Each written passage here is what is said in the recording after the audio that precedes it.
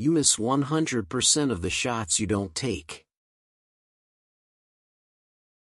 The only way to succeed is to skate where the puck is going, not where it has been. I skate to where the puck is going to be, not where it has been. Procrastination is one of the most common and deadliest of diseases, and its toll on success and happiness is heavy. The day you take complete responsibility for yourself, the day you stop making any excuses, that's the day you start moving down the road to success.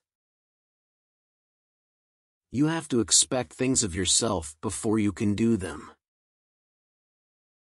The highest compliment that you can pay me is to say that I work hard every day.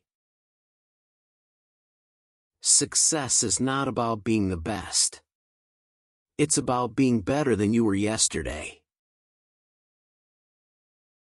The harder you work, the luckier you get. A good hockey player plays where the puck is.